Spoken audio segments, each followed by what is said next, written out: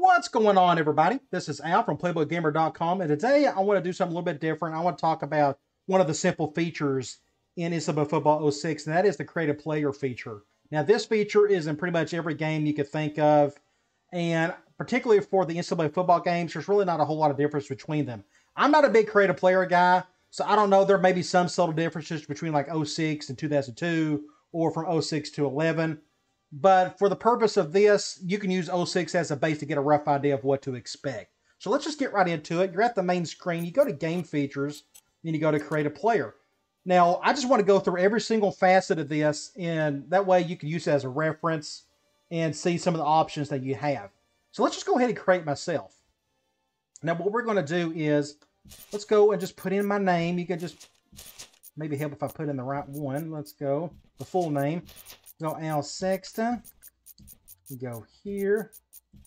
Now, if you want to, for those of you who are hardcore roster guys, you can plug up a keyboard into a PlayStation 2 as long as it's a USB input, and you can type all this stuff out if needed. Just something to think about. All right, first name, last name, home state. You just pick the state that you want to select. I'm from Tennessee. We'll just go with that. Hometown, this is interesting. You can't literally type in any of them but you have a bunch of selection here. Like for Tennessee, all these are real cities from the state of Tennessee. Now, I could just pick a city that's kind of close to me. We can go ahead and pick like Powell, for example. Tennessee, if I'm not mistaken, the roster is full here, so we can go like Tennessee State. I'm pretty sure there's openings there. Let's just create a quarterback while we're at it.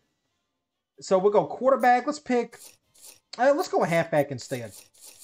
I just want to give you some of the different options here. We'll go with the number 40. You can only pick a number that is available for that particular team, so it's really depending on this right here. Year, this is very important for the those who are really picky about making sure their rosters are very accurate. And if, for whatever reason, a current player in the game is off by like a year or something, you could, you know, just replace him and put somebody else in. At least I think you can. Anyway, you can go from freshman to senior and you can redshirt any of them. We can start myself as a, red, as a true freshman. I'm a lefty, so we'll go with that. You go lefty or righty. And of course, throughout the entire time, you can rotate them around and such, which is pretty cool.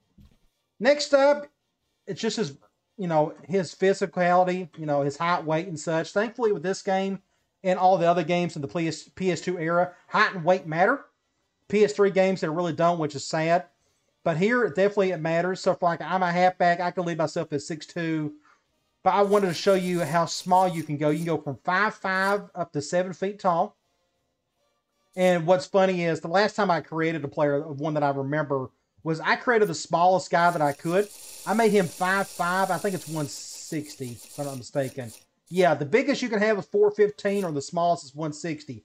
I made him 5'5", 160 and bumped his ratings all the way up to 99 across the board and I couldn't do hardly anything with him because of his height and weight. He was just too small. So that's just something to think about.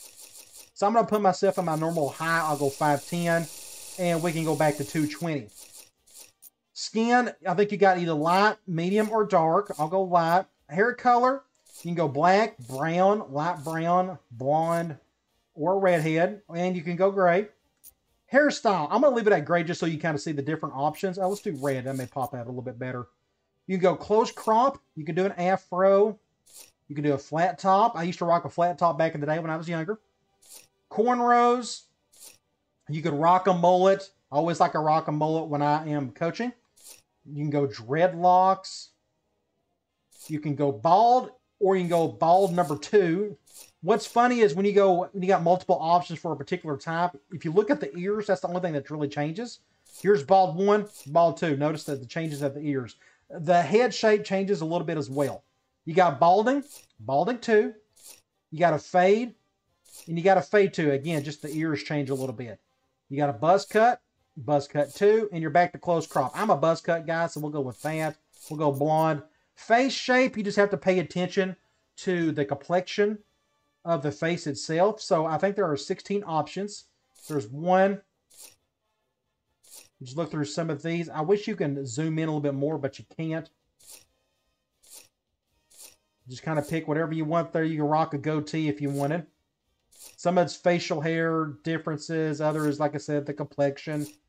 of the face itself. The smile's a little different. 16. We can just go, yeah, there's total of 16. Same with face shape. You have 16 choices.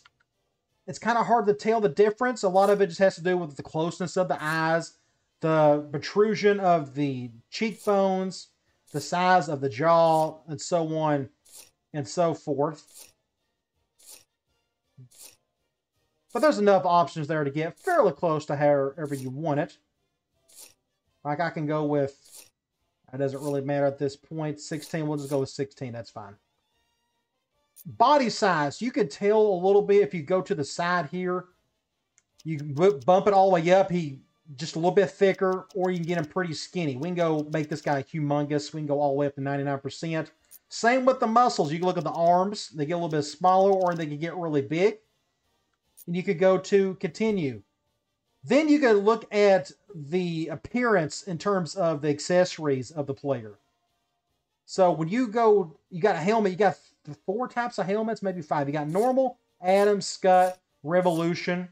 If you go normal, between normal, Adams, and Schutt, they all have the same options at face mask. So if you go between normal and you go to Adams, you see there the holes are in different spots on the helmet. You may have different, like there's Revolutions, got the really cool grooves on the back there. But when it comes to face mask, you got a bunch of options. Half cage, full cage one and two, thin bar with a, or you got a two bar thin. You can go old school and go one bar. You got some that's specifically for quarterbacks and running backs. And nothing changes with that between, again, Adams and Schutt. Revolution's a little bit different on the face mask. It's got three different ones. We can just rock this one for now. Face protector. If you pay attention to the neck, this is like Under Armour for your head and such. If you go none, you go to cold only. So when it gets really cold, you may be able to put that on. I've never paid attention to see if any of those players wore those. I'm guessing some of them do. It's interesting to go with a blue look. I think it goes with like a lighter shade of the team color. I could be dead wrong there. I'm not really sure. Visor, you got a few options. You go none, you go clear, dark, and orange. We'll just go none for now. Eye paint, you can put some eye paint on. That's all there is to it. You just got the one option. Same with the nasal strip, just one option. Same with mouthpiece, just an option there. Neck pad, this is where you want to get old school and have that real mean look to you, like some of those old linebackers from back in the day. You can rock a basic neck roll, or you can get really big with an extended one. That reminds me of a lot of Al Wilson back in the day when he played at Tennessee. He looked fierce with that thing on. QB jacket, if you pay attention to the torso itself, how it changes a little bit. QB jacket just makes a little more filled out. We'll go none since I'm a halfback. When it comes to elbows, wrist, hands, and such. You got different colors. You got white, black, and team color depending on the type of accessory. So you go to right elbow, you got a rubber pad. Then it goes right into a basic elbow pad. You got a black, white, and a team color, which is pretty cool. It's got a little blue stripe, a little orange edge on it. You can also go white team colored as well. Then you got medium bands. Those are the main colors. Then you go with a thin band and back to normal. Like I can rock a big old black pad. We can do a black pad for both elbows. Turf tape, this is interesting. If you ever play on turf, if you have this put on on at like turf only, I think he literally changes it up to this whenever he plays on a turf field, which is pretty cool. We'll put that back at none. Long sleeves. We'll go down here. You can rock long sleeves, always or cold only. You know, like always, you can look at the team color. You can do black or you can do white which is pretty cool. We'll go back to none on that one. Right wrist, again, it's really no different than the elbow. You got a QB wrist, white, black, and the team color. You can do a basic black wrist, white, team color. You can rock a big old arm pad if you want to knock somebody's head off with that thing. You got a half sleeve. Those are fairly popular, or at least they were back in the day. Black, white, team color. And you could do taped. Like I could do tape for both. Then you could go and add finger tape or you can do gloves. Like we could do gloves for both. Right ankle, again, it's really no different. You can do white, black tape, or team color. We can do team color tape for both. Then you can go to continue. And now all that's left is the ratings. Now you notice at the top there, you got tendency and overall rating. And as you adjust these ratings, those change. So you look at the overall rating, I can put myself at 99 speed and it goes up not a whole lot. That shows you like you can really test out the ratings for each position and see what really matters. As you noticed, speed didn't go up only like four points, and I went up to 99 speed. But if you change a few other things like strength, it goes up up to eight points, probably max. Awareness, that should help some as well. Agility, that's important for a halfback. Acceleration's important as well. Catching, not as important, but it just depends on if you want to catch or not. Carry, this should be pretty important. Yeah, that goes up quite a bit. Jumping, I can bump this up to 99, and as you can see, it means nothing to the overall rating of a halfback. Break tackle, that's big time. You notice this thing goes up really quick. Break tackle is huge. That should be related to, I'm pretty sure, the squat rating when you uh, recruit players.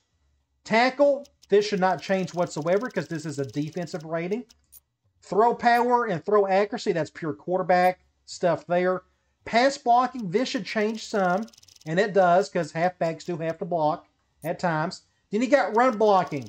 Not a whole lot there. It's not going to change one bit because most running backs don't actually have to run block. That's usually reserved for fullbacks, tight ends, linemen, and such. Some probably receivers probably get a little bump in that as well. Kick power and kick action, that's only for kickers. Stamina, I could bump this up to 99. It's not going to change anything, but it's still very important because you want those guys to be out there as much as they can. Normally, guys who touch the ball a lot get gassed pretty easily, and halfback is definitely one of them. Injuries, the same thing. I could bump the, the 99. It's not going to change anything on the overall rating, but it's still very important. The higher this goes up, the bigger chance of you not getting injured. And that is it for create a player. Now we can go ahead and create and save this. And while we're saving this, we're going to go up to the rosters and I'll show you a couple things you can do there. So you go up to, we're playing for Tennessee State. We'll go with a double A roster. Then we'll go up to view edit rosters. Let's go to Tennessee State. Go to Tennessee State, go to halfbacks, and there I am. I'm a 91 overall. You can select and you can change all that stuff from before. Now, what's interesting is I cannot change some of this stuff. But since I'm a creative player, I can go back and change it later on. I'm pretty sure I can. What I wanted to show you, though, more importantly, was if you need to delete a player, you can, but you can only delete created players. And here they are. The guy who created these FCS rosters, apparently he only had to add a couple of guys. But here I am. If I want to delete myself, I can go ahead and delete myself, and there I go. Well, that's all I wanted to show you with that. There's not a whole lot to it, but I figure that may be a nice little reference tool if you ever need to go back and look and see some of the options you have with Creative Player. Now, what I can do going forward, I may want to do a creative sign video. I think that'd be pretty cool as well. I'm thinking of some other things I can, you know, maybe add. I may want to add some of these instantly tutorial videos. That'd be pretty cool to add to the channel. So there's a lot of good options for the smaller stuff I may want to add to the channel because if those of you who are unaware, please subscribe and click the bell icon. That way you don't miss anything, especially in the community tab. I talked about this this morning. I was asking around on some ideas for some videos. I want to add some smaller ones to complement the longer videos. And I think little stuff like this, such as a creative sign video, creative player and such, will do wonders. I've already done a creative school. Make sure you go check that out as well. All right, guys. I'll talk to you later.